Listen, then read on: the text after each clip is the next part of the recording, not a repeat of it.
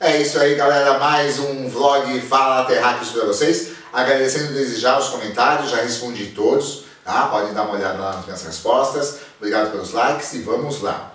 Num dos vlogs lá para trás, tinha um comentário da Bruna Lima que ela pediu para nós falarmos de viagens pelo mundo. Como ela especificou, se é especificamente né, para estudar alguma língua, hoje todo mundo busca estudar inglês lá fora, então nós vamos falar um pouco de tudo, tá? Vamos lá. Primeiro, estudar inglês.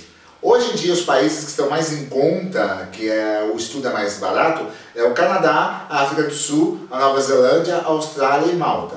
É, com relação a Malta, o único problema é a passagem. Ela é muito cara, tá? Mas vamos lá. Dicas para quem vai estudar lá fora. Primeiro, tentar ficar em salas de aula em que não haja latinos, é, portugueses, brasileiros. Caso contrário, nós vamos usar a nossa própria língua e não vamos falar o inglês. O importante é que a gente fique numa sala de aula que ninguém entenda a língua um do outro e seja obrigado a praticar o inglês. Já que nós vamos estudar inglês, é o que nós temos que fazer lá fora. Então é buscar o país, a escola mais em conta, o curso mais em conta, isso nós podemos fazer aqui já no Brasil, fazer uma pesquisa, é, já até pagar, começar a pagar, parcelar o curso, se formos programar fazer o curso daqui a um ano e já ir pagando passagem, é, o curso e tudo mais. É lógico que, como sempre, a gente fala, tudo é pago, então como que eu vou fazer isso? Se eu não tenho dinheiro, vamos tentar, ok, economizar, é, salvar dinheiro em alguma coisa, fazer uma poupança, só para isso. Eu estou afim mesmo, eu quero estudar inglês, quero estudar uma outra língua em outro país, então vamos economizar, porque isso custa.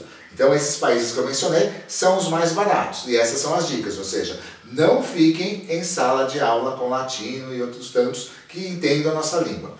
Para ficar lá também, a gente pode ficar ou numa escola, às vezes tem quarto na escola, universidade, ou fazer um intercâmbio, ficar na casa de família, que aí é bom, porque nós vamos praticar com a família o inglês. Então tem que ver tudo isso. O que, que nós queremos? Os custos, botar no papel. E aí é lutar, gente. É aquilo que nós desejamos, temos que correr atrás. Então aí é poupar dinheiro, é ver de onde a gente vai conseguir a grana para viajar, que tipo de curso que eu quero, como que está o nosso nível de inglês, se ele é básico, intermediário, já estamos num modo avançado, então tudo isso. E escolher o país que mais vai agradar a nós para estudar o inglês. Claro que podemos ir para os Estados Unidos, para Londres, a Inglaterra, né? mas tudo isso é caro. A Irlanda também é um local bom, mas hoje em dia também está meio carinho. Então vamos pensar bem. Então, se for para estudar, tem essas dicas que eu posso dar para você, Bruno. Tá? Então, mas pesquise bem, veja a escola, veja os métodos, é, veja referências desses estudos, ok? Se for para uma viagem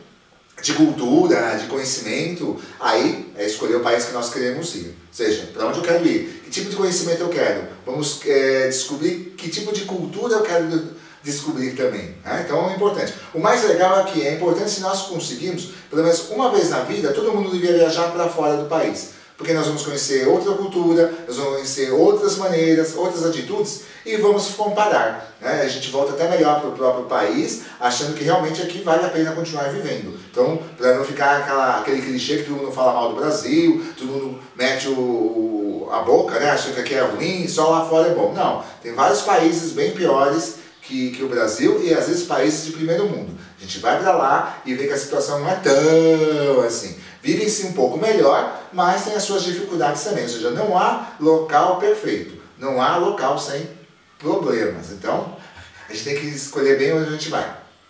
E aí é fazer pesquisa. Eu quero ir numa, num grupo de turismo, eu quero ir sozinho. Então vai numa agência, pesquisa, vê os preços tá? e economiza. Ou seja, se a gente for sozinho é bom porque nós fazemos o nosso roteiro. Nós vamos seguir um guia, nós vamos ser obrigados a ir em tal local que a gente não queira de repente. Apesar que mesmo indo de guia e de grupo de turismo, nós temos horários vagos em que nós podemos fazer o nosso roteiro.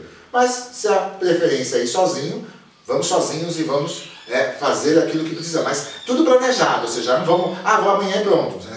Isso claro que não dá, porque a maioria de nós não tem esse dinheiro para fazer isso. Mas tudo tem que ser planejado. Para onde eu quero ir, como, por quê, quanto eu posso gastar, tudo isso, tá? E uma outra maneira de viajar é buscar um trabalho de voluntários. Nós podemos pesquisar, há vários, várias ONGs, sites que fornecem né, esse trabalho de voluntário. Como assim? Eu vou para lá, para um país, é, construir uma casa, pintar casa, cuidar de criança, dar aula não sei aonde, e ao mesmo tempo eu conheço a cultura desse país, eu viajo pelo país e faço uma viagem, só que nesse caso trabalhando. Então a questão é, que tipo de viagem nós queremos? Que tipo de viagem você quer, Bruna? Então veja aí. Mas vale a pena sair do país? Vale. É esforço, é poupar dinheiro e a gente seguir em frente, tá? Então é isso aí, gente. Pela cultura vale a pena. Façam isso. Se quiserem, poupem, guardem dinheiro e um momento a gente faz uma viagem dos nossos sonhos, ok? É isso aí. Espero que eu tenha dado as dicas que você queria, Bruna. Se especificamente era tudo isso falei da, de estudar inglês, falei de viagens né, né, normais e essa viagem de voluntariado que pode ser uma boa também. A gente não gasta tanto, tem algumas coisas, parece que alguns locais da ONG, alguma coisa, é, até paga alimentação, essas coisas, porque nós vamos trabalhar, na verdade, mas há um momento de turismo também. É isso aí, gente, tá? Vamos programar nossas viagens, ver o que nós queremos, ok? Deixe suas dicas, é, suas informações, como a Bruna fez, peçam para nós falarmos de algum tema que vocês queiram que a gente desenvolva. A gente vai atrás, pesquisa e traz para vocês, ok? Até a próxima semana com mais um vlog. Fala Terráqueos, é isso aí gente. Beijos a todos, até mais. Bye bye.